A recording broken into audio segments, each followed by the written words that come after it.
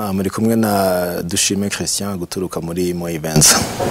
Dushime christian mo events mukora ibiki? Gahunda mu bundi musanzwe mukora zigendanye wenda n'ibi bya star turimo turabona muri iyi minsi birimo biratrendinga mu muzika nyarwanda. Ni gahunda imeze gute? Biteye bon ubundi mo event specializing muri uh, event management celebrity booking ibintu bijyanye na entertainment muri rusange.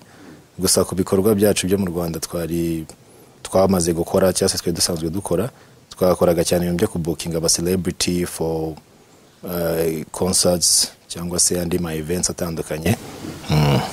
Hanyuma kuri ubu ngubu musa nkaho mwinjiye mu bigendanye no gufasha abahanzi cyangwa se kuzana ibikorwa muri entertainment mu rwanda.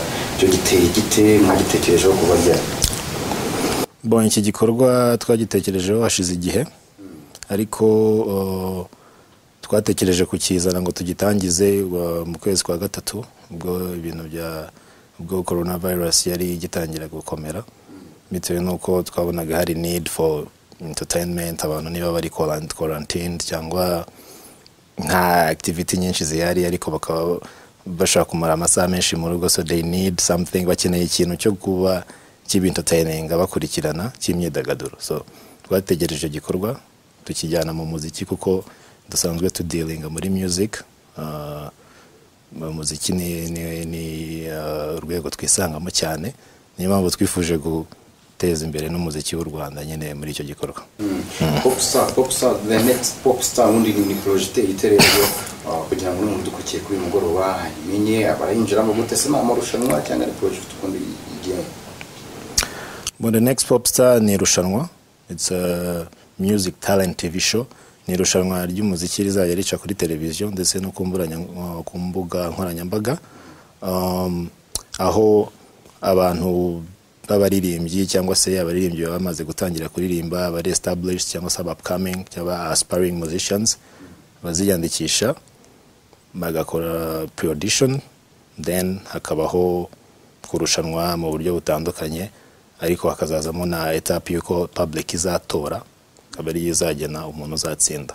Biteye bitewe twinjire mu rushanwa twinjire mu rushanwa indani tumenye ukuntu riteye tumenye icyo umuntu udukurikiye muri aka kanya ushaka kuryitabira icyo bimusaba ah, muri rusange ntabwo muri kuritegura harasabwa iki? Bikoze bite? Bon uh, kwinjira mu irushanwa icyo bigusaba ni uko uba ushaka kuba umuhanzi ukomeye ku ruhando mpuzamahanga kuko iri rushanwa ni irushanwa turi gutegura dufatanyije n'abapana bacu bo muri amerika harimo kampani yitwa network showbiz. Network showbiz ni kampani inazwi hano mu rwanda kuko ndetse iyo kampani tunayirepresentinga tuyihagarariye hano mu rwanda ndetse no muri east africa hose. Ikizwi hano mu rwanda ni uko ariyo uh, yafashije mu kubukinga abahanzi nka niyo igihe yazaga hano last year ndetse n'aba Jason Derulo n'aba Sean Kingston mu myaka ishize igihe bazaga. So ni ukuvuga ngo umuntu utegura ibitaramo iyo yifuje kubukinga umuhanzi aca kuri iyo aducaho kuko ari twe duhagarariye kampani then twebwe tukamubukingira dukoresheje iyo kampani tukamubukingira umuririmbyi yifuza. So urumva ni kampani ikomeye yadushoboje gukorana na Sony Music tubicishije muri lebo ya iri munsi ya Sony yitwa SM1 Music Group.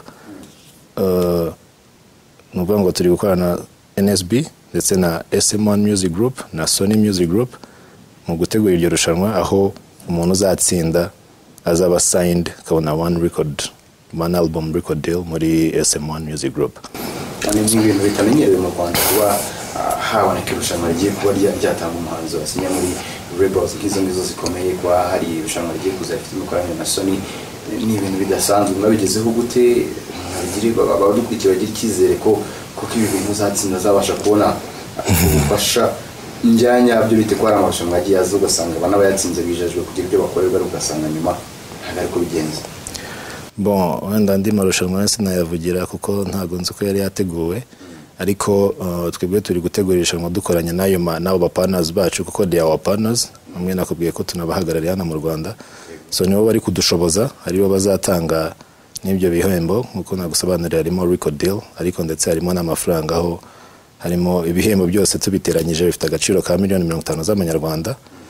So turi gukorana n'abo partners ndetse dufite n'aba partners ba hano mu rwanda nabo turimo turakorana amakampani atandukanye Uh, so bitewe kuko niba umuntu akubwiye azagusinyisha kuri Sony Music cyangwa kuri SM1 Group batari gukorana utari kubabona ni ikibazo. So twe mu irushanwa abo bose barahari bidahitse NSB bazajya baparticipatinga bafasha abasitari batandukanye mu kubagira inama ndetse n'abandi bahanzi batandukanye tugenda dukorana nk'uko nakubwiye we turi gukorana na NSB kanditse talent agency. So talent agency bihagarariye abahanzi benshi batandukanye ari bo bazajya badufasha mu kugira inama abantu bazajya bari mu irushanwa nk'aba industry professionals.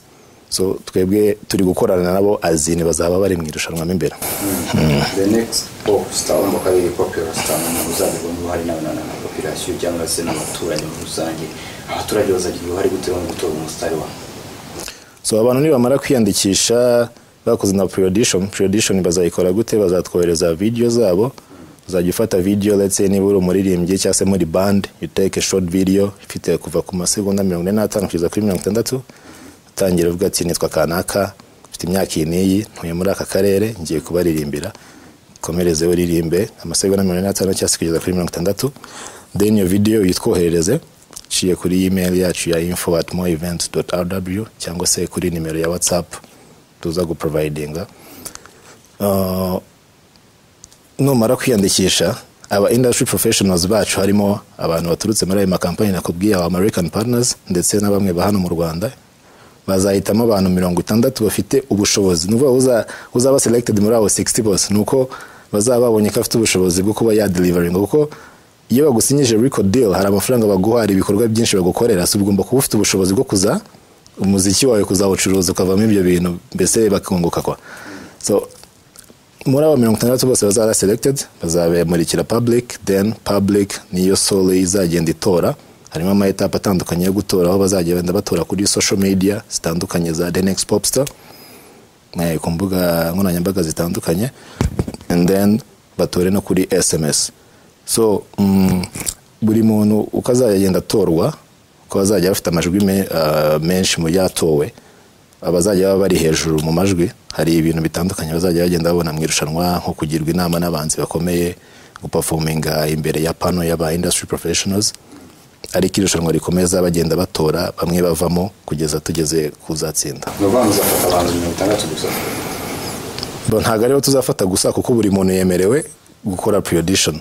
Ariko nk'uko nakubwiye ntabwo ariko buri muntu afite ubushobozi bwo kuba de- a pop star a pop star ugomba kuba ufite ubushobozi buhambaye bwo kuba ugomba gukonvinsinga abantu ko uh, ufite ububasha bwo kuba uko wasilinga out ama arenas ugakora ibitaramo abantu bakaza ugakora indirimbo abantu bakazumva kuri za spotify na hehe no ku zindi mbuga zicuruza umuziki kuko za sony eh, za M- eh, sm1 music group niko zicuruza iyo miziki umuziki wawe zirawufata zikawucuruza udafite babona udafite ubwo bushobozi ntabwo uzaza muri abo mirongo itandatu nubazamo ni uko uzaba ufite ubwo bushobozi. Then bizaba ari up to the public kugutora bakayerekana ko ariyo bahisemo.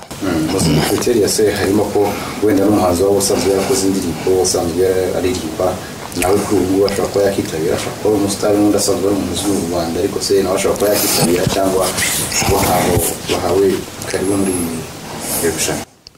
Bahawe karibu umuhanzi umaze kuba established artist mbese ufite fan base wakoze indirimbo say ufite indirimbo zingahe.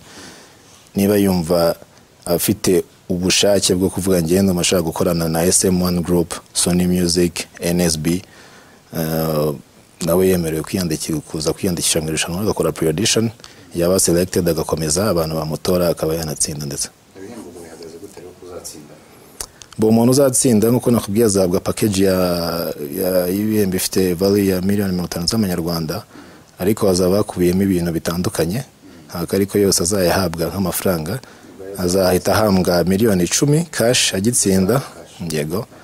Then andi miliyoni mirongo itatu ayahabwe yo gukora indirimbo ebyiri za video ni ukuvuga ngo ntabwo aza- azaba agomba kuba afite team yamanaginga agapresentinga ibikorwa bye. Bakayamuprovidinga let's say video niba ashatse kuyikorera hehe ibiki n'ibiki bakayaprovidinga miliyoni mirongo itatu za video ebyiri then andi asigaye miliyoni icumi akaba ari gukora izindi audio zirindwi. So byose hamwe akaba ari indirimbo icumi so urumva muri make azafata cash ni miliyoni uh, icumi then akorerwe n'izo ndirimbo icumi gusa nyuma uko Sony Music uh, SM1 ikomeza gucuruza umuziki we kuri za Spotify kuri za kuzi- kuri za Apple Music ku zindi mbuga zose bacuruzaho umuziki. Uko bawugurishije niko bazajya atwaraho percentage eh, percentage tudashobora kudisclosinga kubera ko aba ari ibanga ariko urumva umuziki uzacuruzwa imyaka myinshi n'abana benye yanapfa bashobora kuzakomeza ayo mafaranga bakayafataho. Hanyuma niki cyateye kubaza poroje nawe reka muyizane mu rwanda murebe n'izo toko z'abanyarwanda aho kumva wenda ari nka poroje yangutse isanzwe hano mu rwanda aho byaje gute rero? Ni uko mumaze kubona ko umuziki w'u rwanda uri gutera imbere byagenze bite? Uh, navuga ko cyane cyane byatewe n'uko uh, iriya kampani nakubwiye yitwa network showbiz nsb uh, tuyirepresentinga muri east africa kandi tukaba turi abanyarwanda. So mbere ubundi ino show yagomba kuba muri east africa yose. Ariko bitewe n'ukuntu corona twabonaga kubikoordinatinga nta muntu wemerewe kujya mu gihugu cyangwa wenda guflyinga mu kindi gihugu ngo avugane n'amatimu cyangwa ni ibintu bisaba sometimes kuba uri on kugira ngo abantu bakommunicatinge n'andi matimu muhuze. Turavuga se dushaka igihugu noneho byaberamo kimwe. So bamwe batangira gusuggestinga maybe Tanzania kuko babonagaho nta bintu by'amalockdown bafite mu mutwe ariko tuza gushyiramo imbaraga kugira bize mu Rwanda bitewe n'uko turi abanyarwanda kandi twe twizeye industry yacu twizeye ko umuziki wo mu Rwanda ufite potential yo kugurishwa ku ruhando mpuzamahanga ariko ukeneye aka push gakeya. So twakoresheje izo connection then tubona iyo deal gutyo. Ni ukuvuga ngo ni abanyarwanda gusa bemerewe kwitabira cyangwa n'abandi bari muri east africa bagande ba- na tanzania iki nabo bashobora kuyiza bon abaye akorera umuziki we mu rwanda ntabwo uzitabira uba mu mahanga. Niba uri umuhanzi w'umuganda ariko ukorera mu rwanda kuko biba bizwi umuhanzi agira industry akoreramo yaba yemerewe kwitabira nawe irushanwa nta kibazo. Hari ikikuri ku mutima rero wabwira abadukurikiye wenda bifuza kwitabira mesaje babagenera kugira ngo dusoze bon nabwira ko the next pop star ari amahirwe y'imboneka rimwe. Umuntu wese wumva afite uh, ubushake cyangwa se afite indoto zo kuba yakora umuziki ku rwego rwo hejuru akagera ku rwego mpuzamahanga wese ndamushishikariza kwiyandikisha kandi nkashishikariza abantu bose kuzakurikirana the next pop star bakanaparticipatinga ida batora cyangwa se bajya inama mu buryo butandukanye. Reka tubashimire murakoze.